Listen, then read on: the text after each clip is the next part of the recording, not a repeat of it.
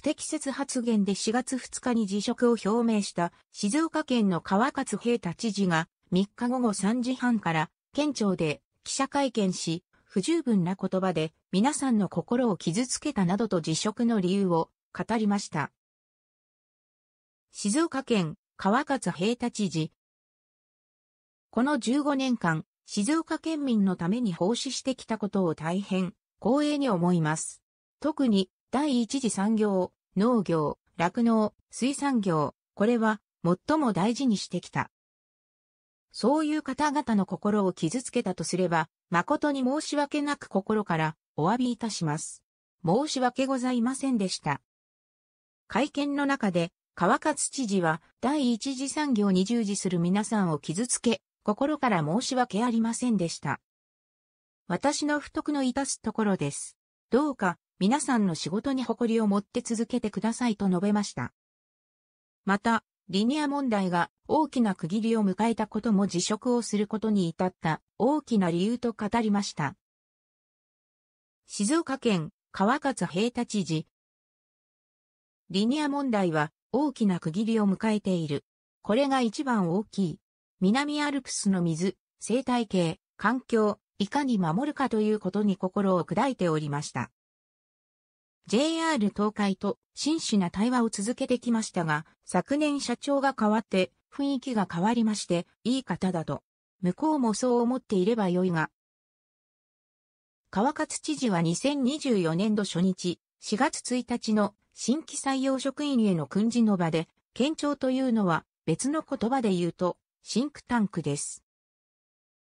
毎日、毎日、野菜を売ったり、牛の世話をしたり、物を作ったりということと違って、基本的に皆様方は、頭脳、知性の高い方たちですと話し、職業差別とも受け取れる発言をし、県には批判が殺到しました。二日夕方、川勝知事は、報道陣の取材の中で、不愉快な思いをした人がいたら誠に申し訳なく思うと謝罪した上で、辞職の意向を示していました。川勝平太知事会見冒頭部分全文。昨日私の新規県庁職員として採用した職員への激励の励ましの言葉の中に心を傷つけるものがあったということを厳しく受け止めております。私はまず、この間、15年間、静岡県民の皆様のために、奉仕してきたことを大変光栄に思っております。私の人生における最高に充実した15年間でございました。私と心を一つにしていると、あるいは心を一つにしたいと思っている方々の心を傷つけたということがありましたならば、特に第一次産業、農業、酪農、あるいは水産業、これは最も大事にしてきた産業でありまして、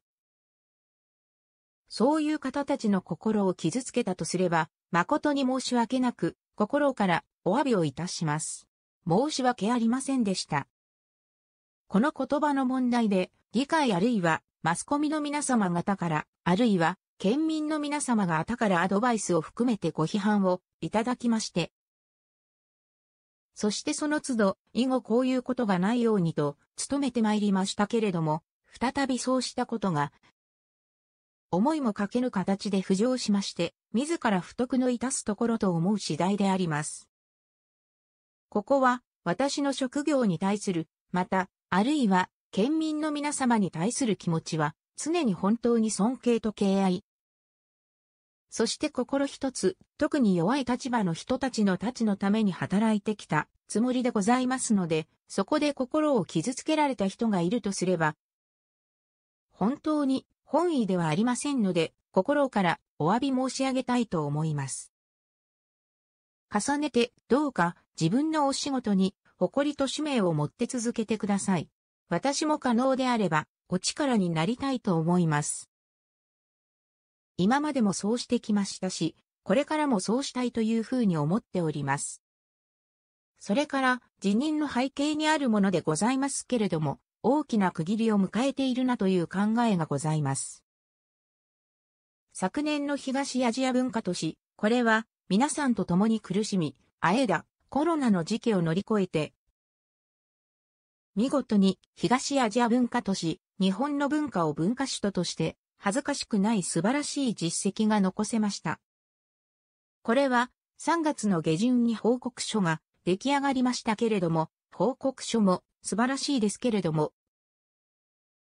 これまでの日本の文化の顔のそれぞれの代表者、数字の面では本当に大きく塗り替える実績が載っております。ぜひご覧ください。以下はネットユーザーの反応をまとめたものです。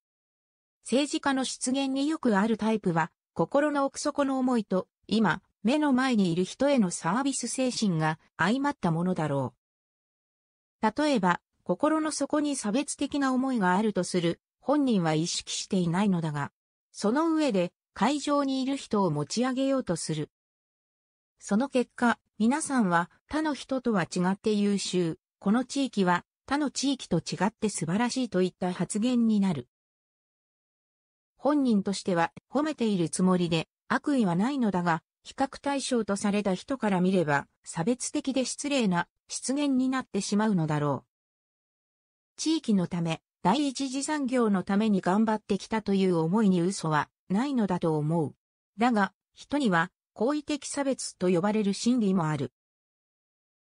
例えば、女性はある地域や職業は素晴らしい存在だが弱い存在だから守ってあげようとする考えである。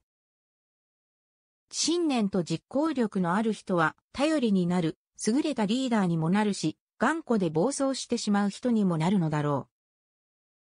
う。野菜を売ったり、牛の世話をしたり、物を作ったりする職業の人々、すなわち肉体労働者と対比して、県庁の職員は知性が高いと言っているわけですから、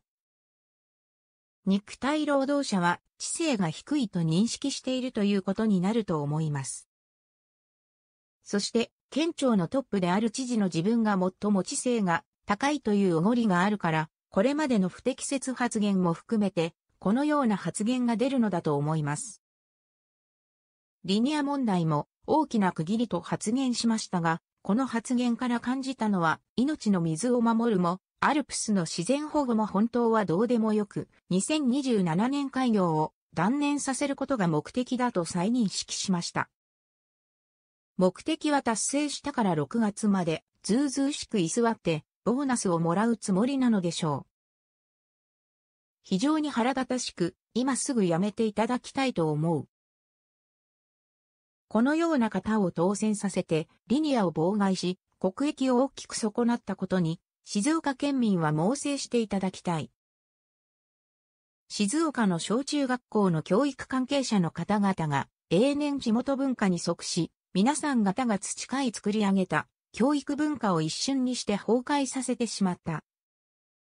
川勝帝国の崩壊の日がついにやってくることになった。その主練手札を見せつけられてきたが、ついに終焉を見ることになったことに、以前の静岡教育文化の再生の炎が復活できるのか、もはや手遅れになってしまっているのか、興奮の気持ちを持ち抑えつつぜひとも以前の教育関係者と父兄が共に携わり作り上げていた教育文化の復活を期待したい。静岡の教職関係者、ご父兄の皆さんの奮闘を応援いたしております。人間を持っていることが言葉の端々に出ると思う。ただ、そこに悪意があるかが大切なんじゃないかと。実績手腕はあるのだからその言葉だけで判断される政治の世界は厳しいなと感しますね。一次産業は儲けも少なく責任もあるから大事にしないと。そしてそれにより沿って補助金がないとやっていけない仕組みは良くないですね。現場を知り向き合いながら国民や県民の利益になるように公務に励んでいただきたい。